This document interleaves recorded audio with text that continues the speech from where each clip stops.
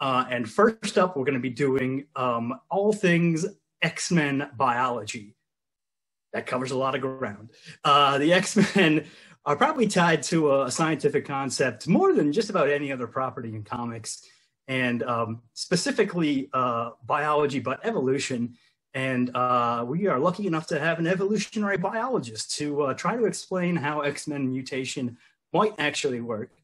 And uh, that's uh, Dr. Nathan H. Lents. So we're going to see him try to pack, oh, I don't know, 80 years of continuity into 20 minutes. Uh, Mitchell, hit the button. Hello, it's my pleasure to be here today to talk about the biology of the X-Men. My name is Nathan Lents, and I'm a professor of biology at John Jay College at the City University of New York.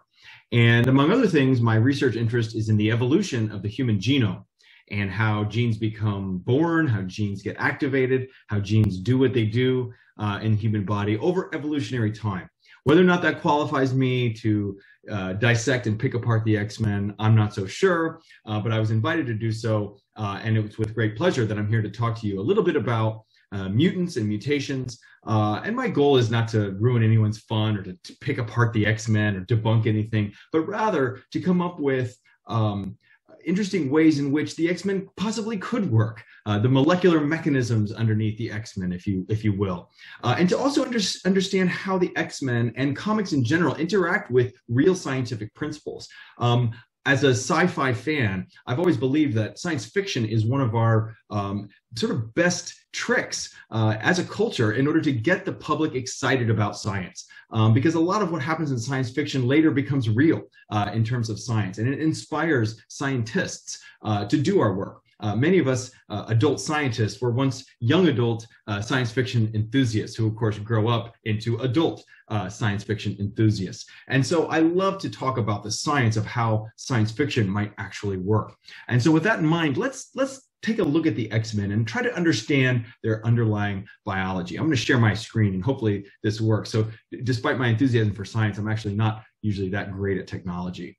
Um, but anyway, here we go. I'm now uh, sharing my screen, I believe go ahead and put that on full screen if it works. And uh, let's go ahead and get started. We'll talk about the biology of the X-Men and specifically about the mutants. Now, um, I want to uh, begin this show uh, by, look, by looking at what some of the mutants really are. And so um, in, in, biology, a mutant is an, is an organism, an individual uh, that has suffered a recent mutation that gave it some sort of phenotype. And the word phenotype just me merely means the physical expression of that mutation. So right off the bat, we have a problem in discussing the, the mutants as such from X-Men, because it's very clear that a single mutation could never give rise to all of the complex phenotypes that we see in the X-Men, whether it's from Beast or Wolverine um, and, and, and any of the winged creatures. So let's talk about, you know, Angel or, or any of those that, that have um, wings. To, to get wings to grow out of the human body, out of the back of the human body, um, you would require a whole number of mutations. A lot of genetic changes would be responsible for creating that new tissue. You, you have, you have bones involved. You have muscles involved. You have nerves involved, uh, all kinds of soft tissue, connective tissue. And then, of course, you need rewiring of the brain to work those wings. There's just simply, that's just way too much work for a single mutation uh, to do.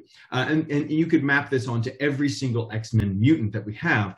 Um, their specialness, their uniqueness, their powers um, could not possibly be the result of a single mutation. So to call them a mutant in regard to the mutant phenotype that we see among the X-Men, it, it, it's just way too much. So our, our, our um, word choices there uh, might not be perfectly appropriate. However, let's look at what kind of mutations might actually get uh, to the point of having wings growing out of our back and so on and so forth. Let's discuss what mutations are and how they could give rise to the mutants that we know of as the X-Men. So first of all, a mutation, the most interesting thing that we have to remember about mutations is that mutations are accidents. They are either copying errors or other kinds of damage that happens to DNA um, that disrupts the, the uh, normal or, or pre-existing uh, DNA sequence. So most often this, this comes about as the result of a copying error. So you have simply an original DNA template and then a, a, copy that's made, and you might accidentally add the wrong base pair of DNA. So where you should have added an A, you add T, uh, and this becomes a permanent uh, change in the DNA sequence. If this is heritable, meaning it gets passed on through the germ line or egg cells and sperm cells, if it is that, then it might uh, become fixed in the population. Um, these mistakes are largely random. They're not directed by any process. Uh, they're unguided. They just sort of pop up whenever they pop up. And right away, you can see uh, it would be almost impossible to make a million of these in such a specific way to grow wings out out of your back. Uh, mutations can be in the form of deletions, they can be in the form of insertions, they can be uh, base pair substitutions, as you see up here. Um, and even though these are mistakes, these are accidents, these are unguided, they are also the sole engine of innovation. Uh, of any species. Everything we know in life that is creative and new and different uh, than what came before it started as an accident. It started as a mutation. And that gave rise to everything from our fingers to our eyes to just the mere fact that we are uh, more than just one cell. All of that was a result of these unguided mutations. So they are capable of creating these great uh, complex phenotypes, but you need a lot of them. Uh, and in the case of the X-Men, it seems like we're getting a lot of them all at once. So let's let's revisit that. First of all, one specific kind of mutation that, that can occur uh, not just a single base pair change, but a copying uh, of an entire stretch of DNA into multiple copies. All right, and this is sometimes called gene duplication, and it's an incredibly important process in evolutionary history. So if you have these chromosomes here, uh, you can delete parts of a chromosome, but you can also duplicate parts of the chromosome. And this is often the engine of creativity and innovation, because once you have two copies of something, you can uh, sort of monkey around with one of the copies while the original copy does whatever it was supposed to do uh, in the body. So you don't lose any function by tinkering around with the extra copy. Um, and these generally can come about any number of ways, but what we've shown here in these cartoons are chromosomal breaks and repairs and other kind of large scale uh, mutations. Um, a lot of mutations that occur, however, are neutral at the time that they happen. So not all mutations really have any big effect on the, on the body. Uh, and this would be true for, for anyone over time that you just sort of accumulate some of these. And if they're neutral, they don't make any difference and they just sort of get added to the gene pool. Um, and what happens is you accumulate these, many of these over millions of years, uh, is what we call cryptic variation. So all of this variation that we can have from person to person, much of it actually doesn't do anything at any one point in time. However, it contributes to this silent reservoir of genetic diversity that could be tapped into later. And you might even kind of see where I'm going with this. Um, and so if you can imagine over millions of years of time, the human race, uh, uh, and, and, through some interventions that we'll talk about in a second, uh, we might have ha- actually had a lot of various mutations that could be activated later. So, for example, uh, growing wings out of our backs or or, or, different other abilities that we might gain uh, in the X-Men lore um, could have come about by variations that were present, in, in fact, pres- possibly present in many of us that then get activated later. And this brings us to the X gene. The X gene uh, is the most famous of all the sort of mutant uh, mechanisms that we talk about within the X-Men. But it's a single gene. We know it's a single gene uh, because of the way it's been talked about um, in, in the comics. However, it might very well be a master regulator. So this is a, a, concept that I want to introduce you to called the master regulator, which is a gene that activates other genes. And these are common throughout biology. Uh, this is especially true during development, which would be a key thing during, uh, during the generation of mutant phenotypes. Um, but a master gene is one that turns on lots of other ones. So you can have a gene that, for example, turns an undifferentiated cell into a muscle cell or into a neuron obviously one gene or one protein can't do all that work but if it's a master gene it is then initiates a cascade of events turning on hundreds even thousands of other genes which express other proteins which then go and do the job of turning that cell into a muscle cell or whatever um, and these master genes, these master regulators, uh, can have vast, vast effects uh, throughout the body and in and completely change the, the, sort of trajectory of a certain cell. And its destiny, its fate, uh, can be determined by a single gene. And these are very powerful. And there's many examples of these in human biology. So if we think of the X gene as a master regulator that could have been activated any number of ways, but then what it does is then act on all that cryptic variation that I talked about before. Over the course of millions of years, we could have been accumulating all kinds of mutations throughout our genome that were dormant. These were latent mutations ready to be activated by the master regulator we know of as the X gene. So that's sort of my hypothesis on how this might actually work. And there's some evidence from the literature. So if we want to use the scriptures as our guiding force here, uh, in House of M number one, Dr. Henry McCoy talked about the X gene was not one strand of DNA, but millions strung together. Uh, and it would be a combination so complex that it wouldn't be figured out in his lifetime. Of course, it wouldn't. As we know, Dr. Henry McCoy uh, was a mutant known as Beast. Uh, who had all kinds of uh, phenotypic changes all throughout his body. And so, if anybody would know the, the incredible nature of these X genes, it would be him. But interestingly, um, his word choice might seem a little funny, but he's actually sounds like he's describing a master regulator that goes and turns on millions of things throughout the genome. So the X gene might truly be a single gene capable of huge effects in the body, not on its own, but through its activation of cryptic variation that could, could have accumulated over geologic time.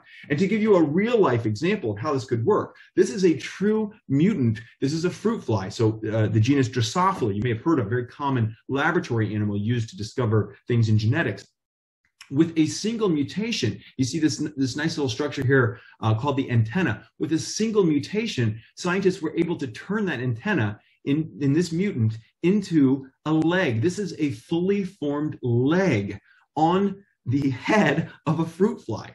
Um, and and because all of the genes necessary to build a leg were obviously there because the, the fly has other legs.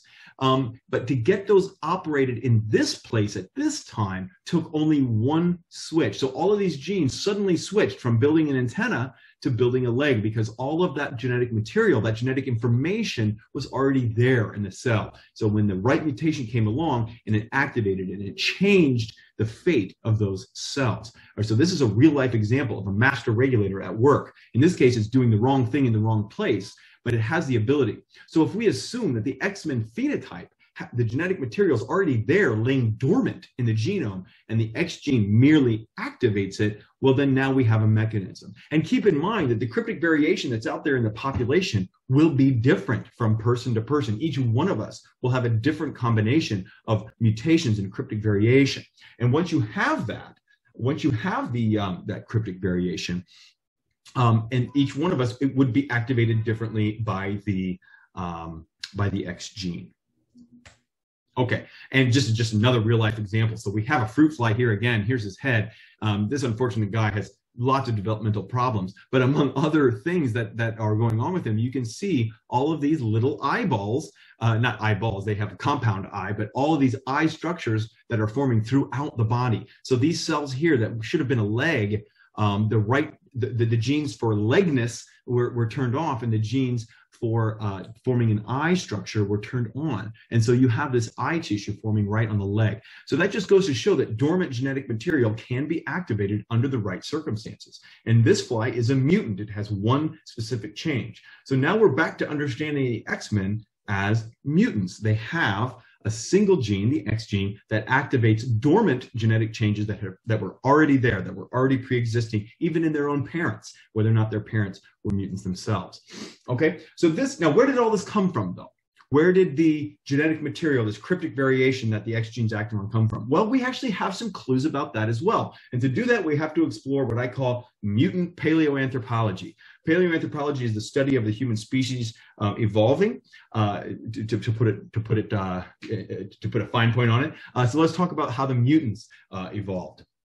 Well, we know from Uncanny X-Men uh, number 141 um, that there are three classes of humans, and, and we get uh, we get quite specific here. We have the regular old unaltered Homo sapiens, and that's class H, and then we have class M, which were the mutants, Homo superior, which we are all familiar with as the mutants, the X-Men mutants. But we also have class A, which are the anomalous humans that have the genetic potential to become mutants. So this idea of cryptic variation spread out through the population that can be activated later, that's already out there in the X-Men canon. Um, so, um, so this hypothesis that I've come up with is based on on canon, not just my my science uh, fiction uh, in my in my own brain. Uh, and we know from um, uh, the uh, Uncanny X-Men annual number 13 that about a million years ago, uh, there was some deliberate attempts to modify the human genome in this way. And that's where we get the deviants or Homo descendus, as they were called. So the deviants were made through gen direct genetic manipulation. And keep in mind that that genetic manipulation would then add to the gene pool. And a million years ago is a long time, lots of generations for that variation to continue mutating and spreading it throughout the population in infinite diverse combinations. Um, and, and, and that was not the only attempt at manipulation. As we know, uh, Nezarr the calculator manipulated uh, uh, humans as well to create the Eternals or Homo immortalis. And we have these uh, uh, genetic variants uh, on which that are spreading through the population. And if you can imagine this, these alterations as silently working their way through the population over millions of years or a million years, um, we, we can also explain the sporadic appearance of mutants as we see in X-Men canon uh, throughout that time there were sporadic appearances, and those were what we would call spontaneous mutants uh, that either activated an X gene or somehow other activated parts of that genetic cryptic variation. Um, and, and that's in line with what we know how biology works with sporadic uh, random mutation. adding to this, we also have the proto-mutants, right? The Atlanteans and the Inhumans uh, in Homo supremus and Homo mermanus that get added into this, this gene pool as well. And so if you can imagine a million years of evolutionary history, and I love this image created by uh, my friend and colleague, uh, Robert DeSalle from the, the Natural History Museum, uh, here in New York, um, you can imagine through the earliest species of human ancestors, if you add in the X-Men, those were who deliver, uh, excuse me, the X-Men mutants that, that we know of, um, as adding into um, the, the evolutionary history of our species, that's a lot of genetic variation and a lot of time for it to diversify and spread throughout the population.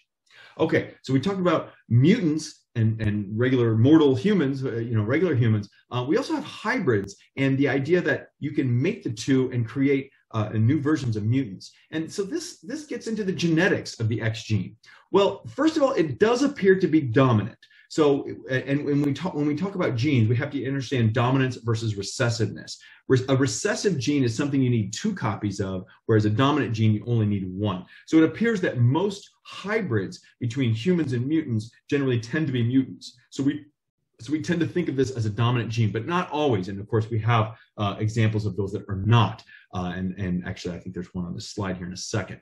Um, but generally, what if you if you had two mutants that were both uh, copy carriers of the X gene, assuming they only had one copy of the X gene, and then on their other chromosome it was not, uh, then three fourths of their offspring would be mutant, but one out of every four offspring would not would not get it just by the basic laws of Mendelian inheritance. And this is my colleague Elena Bern, uh, uh, uh, at NYU who created this, this figure.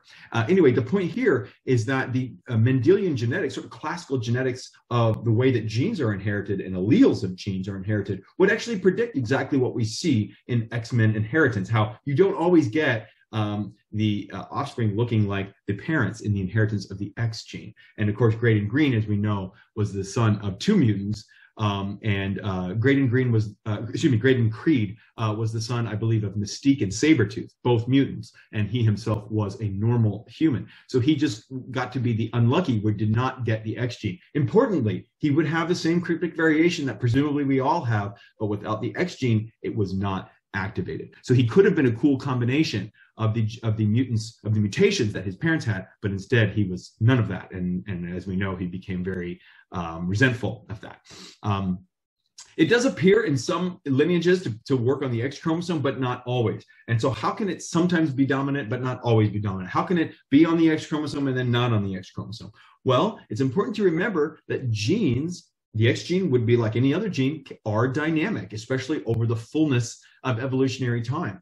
Um, and so genes sometimes get inactivated either through mutation or what we call epigenetics. Epigenetics is a can be used as a silencing of genes. Separate from the sequence itself, they can actually be silenced through chemical modifications. Genes can also move around. So we have these, these phenomena sometimes called jumping genes of transposable elements. These are real genetic phenomena where genes can move around from one chromosome to the next through the generations. So this could explain why in some lineages it appears on the X chromosome, but other times it clearly does not. Okay, so that's sort of a, a, theory that we could have of how this might all work and the molecular mechanisms. I now want to discuss a couple of other phenomena that the X-Men touch on that have real biological principles at work. Um, and some of them might, I, I might get a little um, cranky about, and other ones I'm really excited about. So the first one, I just have to do this. I'm sorry. I know he's a favorite X-Men, and I like him too. But Darwin, while one of the most interesting and, and, and wonderful X-Men for his ability to adapt to all kinds of changing environment, he has a very unfortunate name because the adaptation that we see in the X-Men Darwin is not at all the adaptation that Charles Darwin was talking about and that taught us about. Um, first of all, individuals, according to biological adaptations, individuals don't adapt. That's not adaptation. That's not what the word adaptation means in a biological context.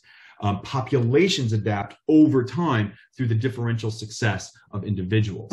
Uh, and the way that actually works, like, like for example, Darwin, the X-Men, you know, you put him in a dark room and all of a sudden he develops uh, night vision. Uh, that's not how biological adaptation works. And in fact, he actually tried to uh, kill himself one time by throwing himself out a window, and he adapted to become so light actually it wouldn't be light it would be he would be less dense. Um, he, he became so so less dense that he he floated uh, harmlessly to the ground. So that kind of adaptation is not darwinian adaptation. What charles darwin was talking about is the variation that we see uh, in a population and then the application of some selective pressure uh, that leads to differential survival. And that's what adaptation is in the world of biology, where some individuals uh, survive and some don't and the, the history of the species is thus changed by the differential success of some members versus others. So Darwin himself cannot evolve, cannot adapt. Um, he can he can respond. That's called biological responsiveness, and, and we have homeostasis and other uh, real phenomena that could be at play there. But he he just shouldn't have gotten the name Darwin. That, that's the only thing I have to get a little uh, cranky about. Uh, another thing that was really interesting we saw during the teasers for the House of X. Uh, now we're into the cinematic universe, but when two aggressive species share the same environment, evolution demands adaptation or dominance. And this was based on a very real biological principle called the competitive exclusion principle. And what this tells us is that two species cannot occupy the same niche. And what a niche is, is it's more than just a habitat. It's more than just a physical location. It's also what it eats and what it does and how it lives. And it's true when two species come in direct competition, eating the same food in the same place, one or the other has to give because even a slight advantage of one over the other leads to complete extinction of the weaker one. And so when you have that head to head competition, generally what happens in biology is what we call resource partitioning. Uh, so in order to avoid extinction, one creature or the other will so simply go a different way. They'll climb higher up in the tree or eat a different kinds of food to, in order to avoid that kind of head-to-head competition that is uh, so le- so much leads to extinction. So if we think of the humans and mutants as different species, uh, rather than going head to head, it would be best if they sort of find their way around each other to avoid that kind of competition. Now, this leads to the concept of speciation. Are humans and mutants separate species? Are they distinct species? Well, now we need to think about how speciation actually occurs. So in, in biology, speciation happens when a parent population splits into two groups that are no longer the same gene pool. So you don't have active interbreeding. Uh, and so then they can go off in their own separate, uh, their own separate fates, their own separate destiny. And when this happens, uh, actually, let me, let me show you a very famous example of this. So you have two species of chimpanzees. The, the most famous one, the common chimpanzee, um, which is shown here, um, in this slide. But you also have the bonobo, or sometimes called the pygmy chimpanzee, which is very similar, but they are distinct and there's they don't actively interbreed. They are two different species of chimpanzees. They both evolved in Africa.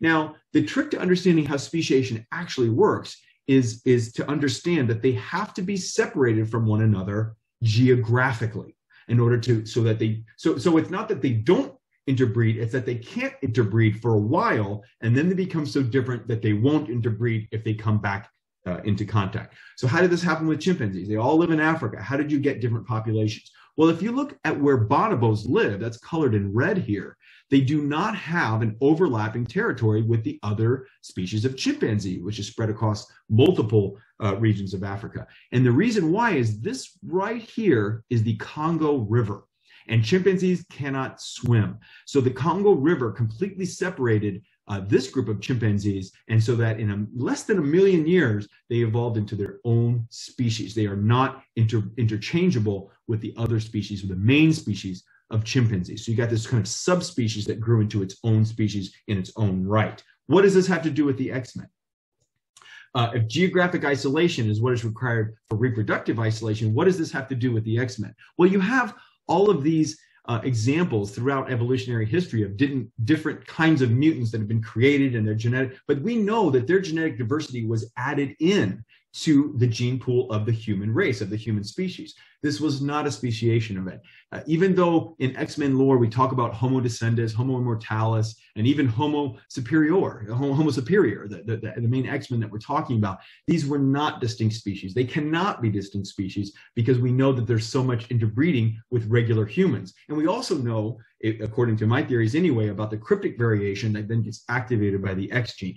This is not a speciation event. Yes, they are very different phenotypically. They have different characteristics, but that does not make them a different species. They're just a variant of the main species of Homo sapiens. However, however, if we look at the island of Krakoa, where hundreds and hundreds of X-Men now live, the mutants live and are creating their own environment there, uh, where they're safe from the interaction with humans if they're there long enough, they will achieve speciation because, as experiments have shown in the laboratory, the mere fact of interbreeding separately for long enough does lead to reproductive isolation. A very classic experiment was done with fruit flies, where they took just one batch of fruit flies, split them into two, and the only, and they kept them separate. The only thing different was they fed them different food. And after 30 or 40 generations, their ability to interbreed was weakened. And the longer you do it, the weaker the interbreeding becomes until they are completely separate species. And so if you look at, at, Homo neanderthalensis and Homo sapiens, so we're talking about Neanderthals and modern humans,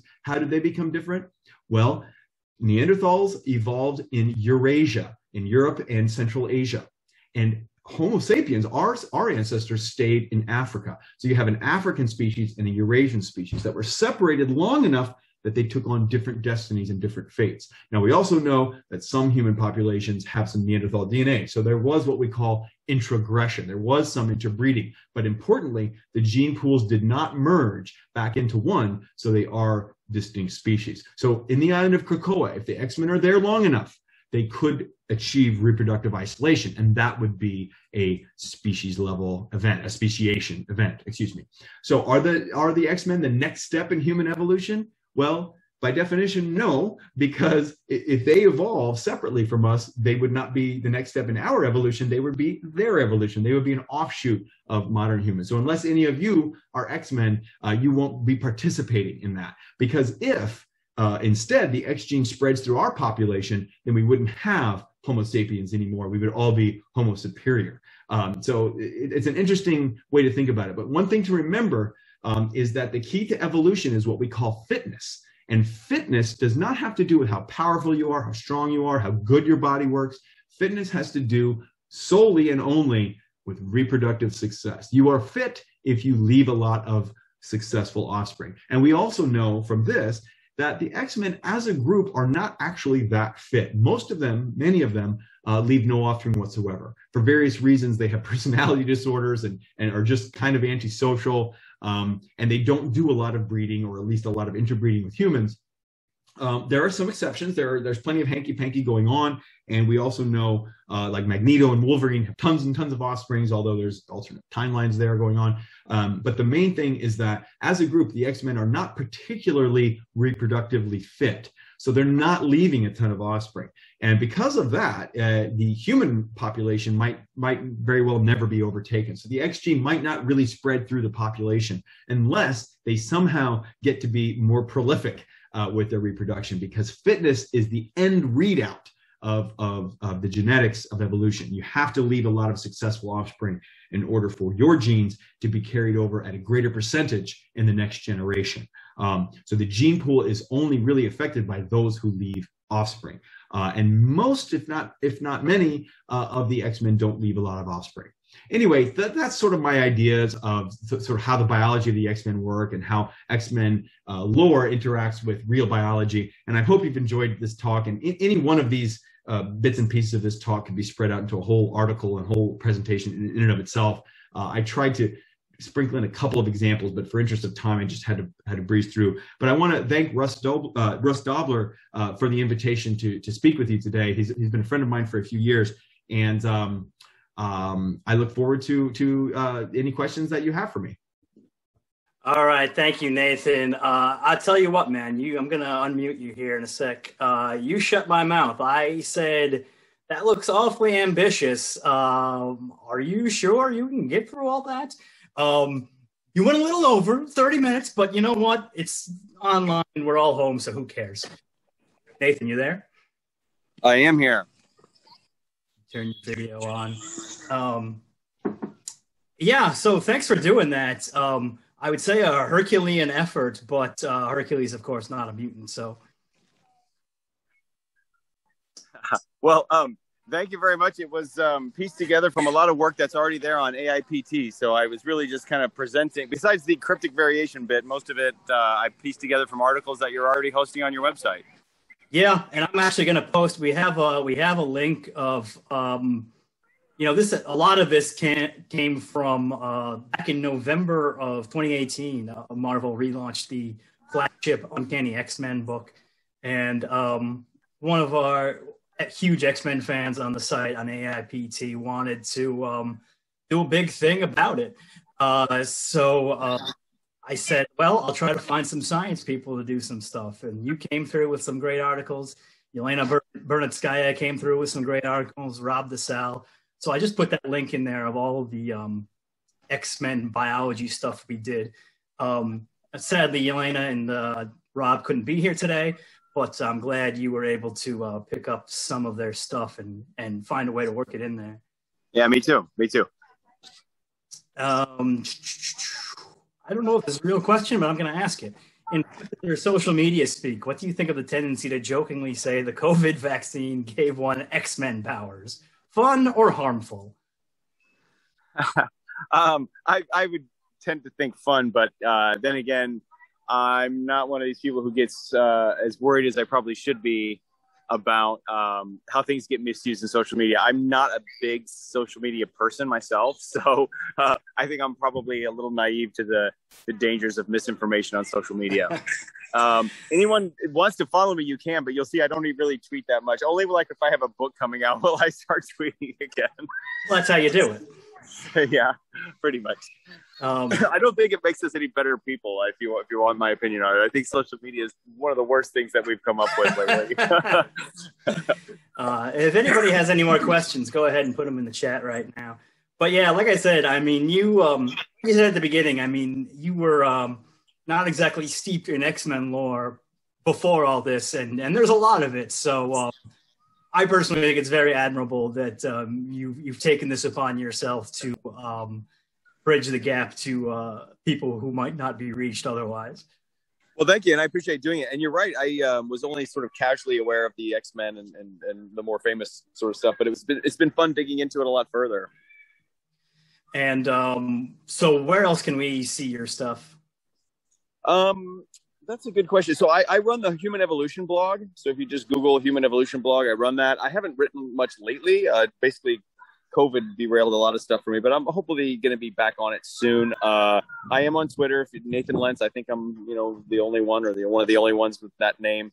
Um, yeah, I'm on Twitter. I'm on uh, Facebook. I'm on uh, my own blog. So yeah, I mean, it's pretty easy to reach. If you Google me, you'll find me. And I generally respond to any emails that are nice. I, I get a lot of emails that aren't nice, and I tend yeah. not to respond to those. But well, we should say we should say uh, because you um, you had an article. I think it might have been the cover story in that uh, an issue of Skeptic magazine. I can't. I don't know the issue number offhand, but uh, it was probably to me, and I've read a lot of this stuff. Obviously, the um, most accessible uh, refutation of creationism's complaints about evolution that I've ever seen. So Thank thanks very much for that. Yeah, you're correct. It was in the um, 2019, early 2019. It, it, it, was a cover story of uh, Skeptic magazine where we, me, I mean, I, I got the um, authorship of the article, but it's really a big team effort in debunking uh, intelligent design. And I tried to give credit where credit was due throughout the article because there was a lot of us that are working uh, to do this uh, just in our free time. I mean, the thing is, is that none of us get get paid or get any kind of funding to rebut creationism. We have to sort of take time out of our regular day, our regular week to do this.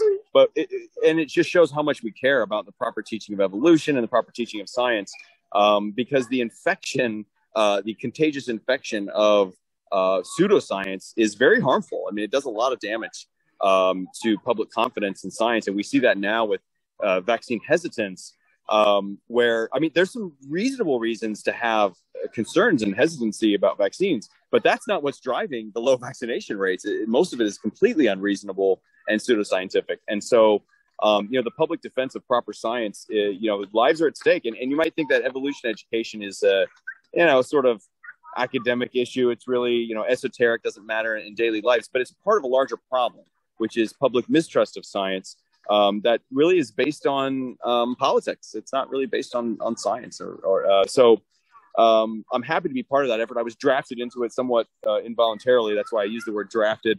Um, but uh, it's been it's been fun. I've really appreciated the experience, and I've made a lot of good friends around the country. For those of us who uh, who are who are in this fight, and I look forward to uh, you know the next step. Yeah, well, thank you, Nathan. I'm sure uh, I'm sure we'll be doing stuff in the future too. So I look forward to it.